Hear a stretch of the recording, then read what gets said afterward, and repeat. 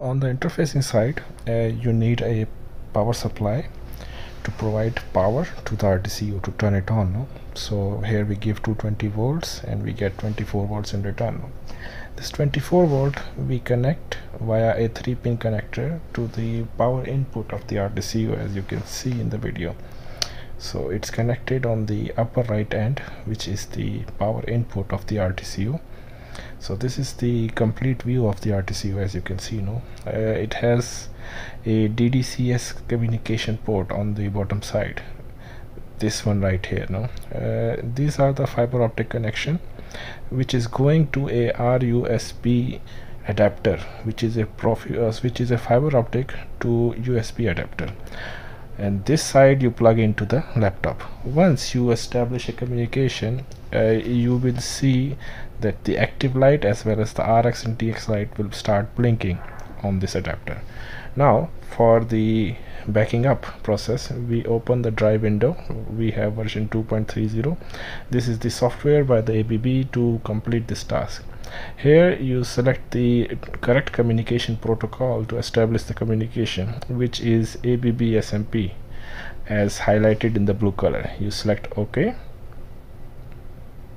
From there now it's trying to connect with the drive as you can see in the bottom left corner it's trying to connect saying connecting. So in the navigation tree you will find that there is one TDS11SH file drive and once you double click this one you will see a lot of configurations and options relevant to that controller. So this is all the options for this particular drive. And last one is the status and properties parameters and whatnot. We have everything in this one. So in order to have a complete backup package so you go into the file system software you go to new and you create backup package. So this will tell the program that we are about to create a backup package into the memory which we will use to store in our PC so again you go to system software. Now you have all these other options enabled. You go to backup all and it will start backupping all the things that we have in this controller. So as you can see the process is started. It's quite long. It will take like five to six minutes. So we will speed up the video for your assistance huh? so you don't have to watch this whole process so I will speed up this video right now. And as you can see it's uh, it will move quite fastly. And in the end you might hear a click sound from the RDCU this marks the end of this process and resets the controller.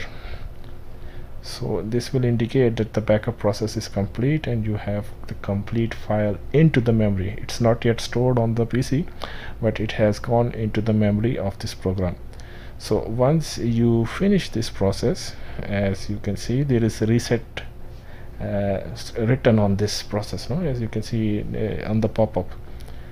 So now this pop-up will disappear and to simply add it to the directory to get to the directory option what you will do is you will close this program as we are about to do here.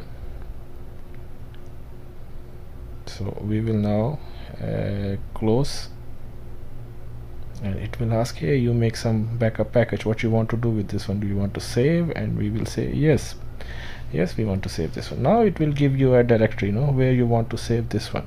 I have already created a uh, directory on the desktop and uh, use appropriate names and uh, time and location of this RDCU uh, this controller so you can easily track this one for the futures no? so as you can see that I have already created a folder and we have also have subfolder. This one is by the way drive B which is the slave drive in our setup.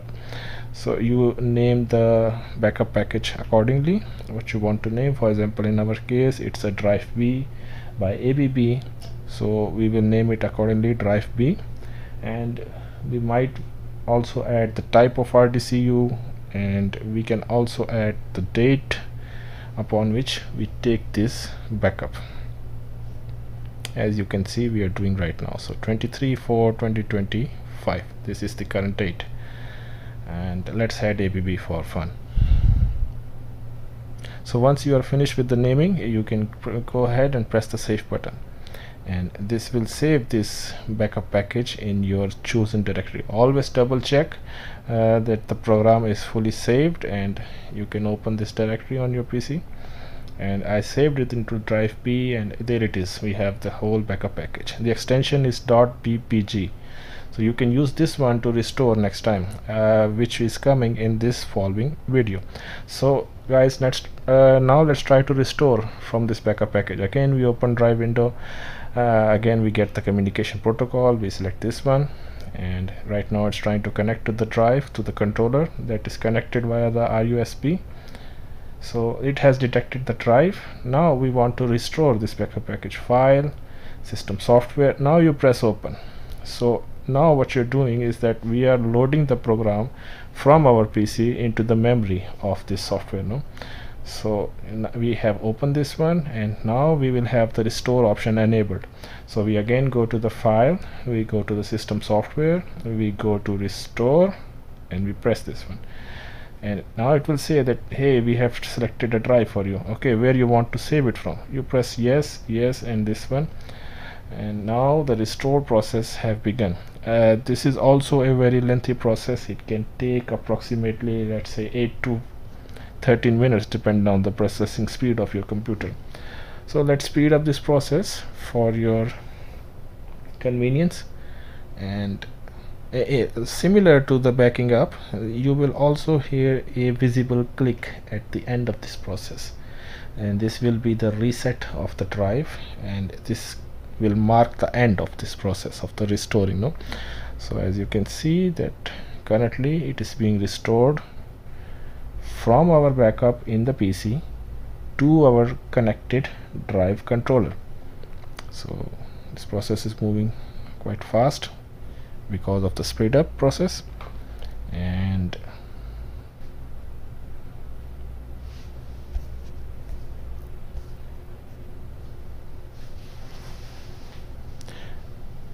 and we are about to approach the end. As you can see the blue bar is almost full.